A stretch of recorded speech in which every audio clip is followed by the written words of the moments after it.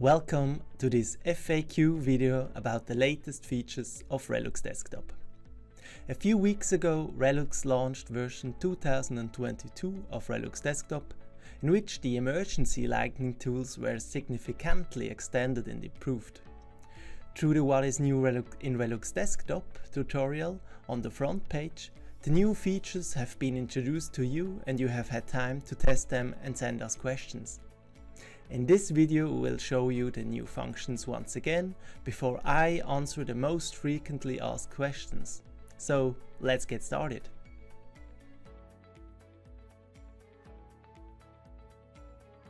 New feature, emergency lighting tools.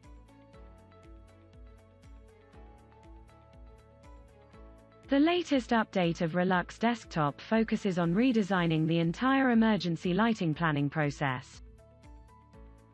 When selecting a new emergency object from the Insert menu, a window opens automatically in which the desired standard can be entered before the object is inserted into the scene. From now on it is also possible to change the emergency settings by right-clicking on the luminaire, and selecting the desired option in the configuration window.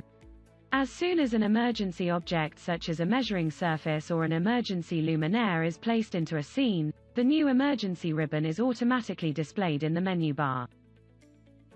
Calculate in addition to anti-panic areas, escape routes and high-risk areas, now also the visibility range of emergency signs. All commands and tools needed for emergency lighting in one tab means that one can now work even more efficiently when planning emergency lighting projects in Relux Desktop. The new automatic placement tool adds the required amount of luminaires according to the standards of the measuring area, and the live result tool displays the results immediately. If an emergency light is selected and moved in the scene while the live result function is active, the measuring surface changes and displays the new colors without delay. The emergency sign visibility tool is a novelty in the software industry and finally makes it possible to place the emergency signs within the required visibility. As long as the visibility option is active, a green area is displayed in the floor plan as well as in the 3D view, indicating the visibility range of the emergency sign in the scene. Depending on the height of the emergency sign itself, the visibility range varies. After calculating the emergency lighting plan, a completely new result output is available that shows the most important results. In addition, all emergency luminaires are marked with a capital E, in the luminaire list of the room description.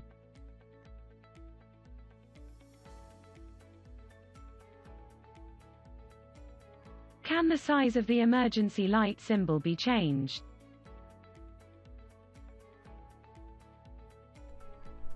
Yes, this is possible. Take a look at my screen. You can see that I have a room with one luminaire inserted and this luminaire is an emergency luminaire with the symbol on it. If now I do a right click and here it is important that no object is selected so if I do a right click now and go to the properties I can change the symbol size in this gap.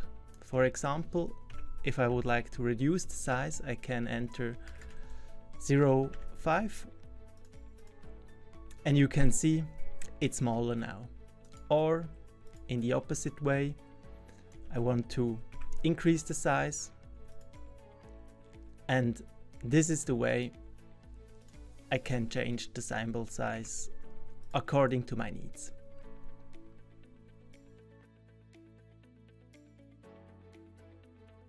Is it possible to change the size of the emergency sign in the 3D view? Yes. Take a look at the emergency tab. On the left side we have the emergency object and here I can select an emergency sign for my door and I turn it and place it directly above it. If I check now the 3D view, let's move it a little bit upwards, I see that there is a 3D object of this emergency sign. And if I would like to change the size of it, I can simply go in the properties. Here we will find on the height already the current height of it, so 15 centimeter. And here then I change it to 30 centimeters and the size will change automatically for the 3D object in the scene. Can false color results from multiple measuring surfaces be displayed in the live result mode? Yes, this is possible. As you can see, in my room there is an emergency luminaire in the middle of it and an escape route and additional additionally to it an anti-panic area. In the emergency tab I can activate the live results and immediately the live result for the anti-panic area are displayed. This is the case because this area is selected in this moment. So if I switch to the escape route by clicking on it in the project, um, project window, I have the results immediately shown for this measuring surface. When I deactivate, deactivate deactivate the grid, it is even better displayed. So I can also immediately insert another rectangular anti-panic area to show you that it is also working directly after placing a new measuring surface.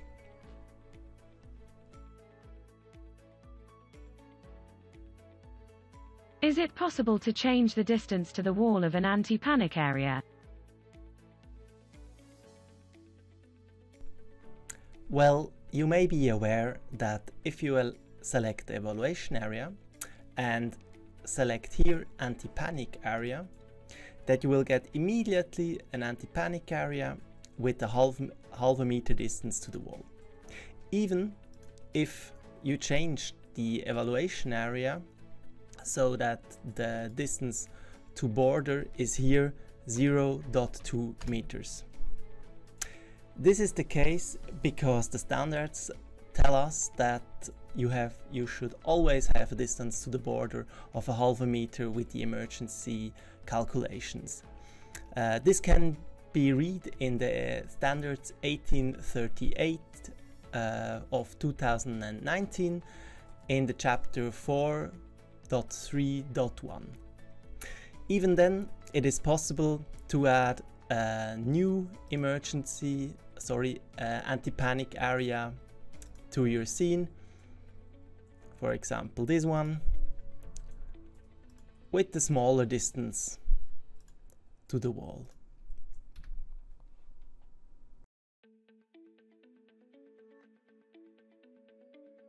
Where can the target value of a high-risk area be changed?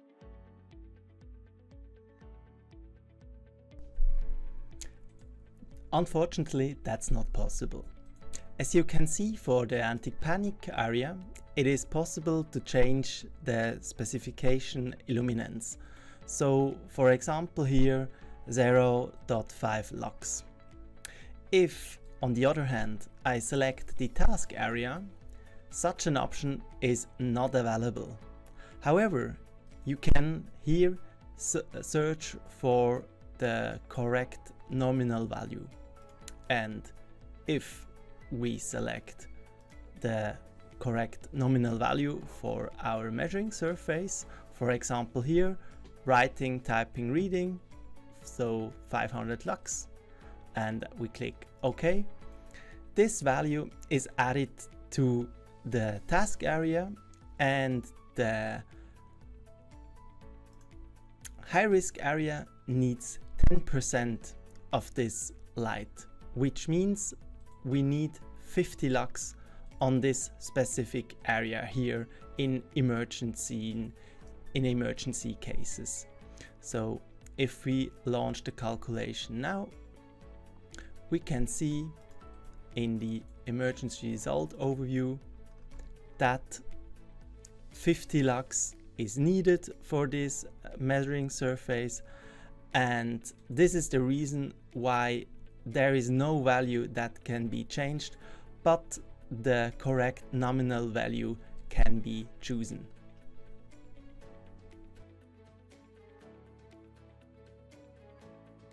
Can the colors of the boundary lines on an escape route be changed? Of course. In the results of the emergency lightning calculation, we have once the uh, overview, then the escape route table, and the boundary line for the escape route. And here we have three colors. Those can be changed in the View tab when we click on this little arrow here. As you can see, a new window will open in which the standard false colors can be changed or the colors for the thresholds, which is connected to the boundary line result. So for example, if we change the green to blue and click on OK, it will be immediately be displayed in the result page.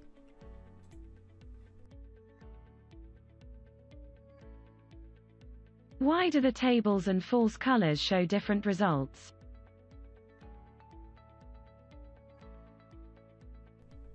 Thank you very much. This question is very important. Let's take a look at this table here for the emergency calculation. Here you can see the minimum illuminance is 0.2.9 lux. But on the right side, in bracket, we will find another value. It is 0.2 lux. So which one of these should be or is correct? First things first, it's the right one. The one, the value in the bracket. As you can see here, there is an important hint values on fine measuring grid. For example, if we take a look at the anti-panic area of the boundary line, so the false colors, there the values in the bracket are not displayed, but the correct value 0.2 lux is displayed, which means that this view here contains a lot, a lot of measuring points which are not displayed with values but with colors. If we compare it to the table, here we have a problem because it is not possible to display all measuring points in this view. So what Relux does is we take we use this calculation results here and draw lines and create a new grid and display all possible measuring points in this overview which means here we do not display all measuring points and these measuring points are most likely not at the edges of the measuring surfaces. So important for you to know is that the this overview is more accurate than the table overview and that the value in the bracket are the important ones. Does Relux Desktop take room reflection into account when calculating emergency lighting? No, there is no indirect fraction taken into account when doing an emergency calculation. You can find this information here, but these questions might refer from the calculation manager in which this option can be selected. However, if we open the emergency lightning part, this option is gone.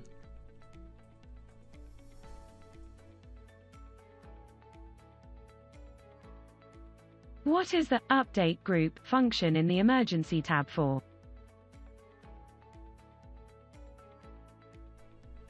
This question refers to the update group command in the emergency tab.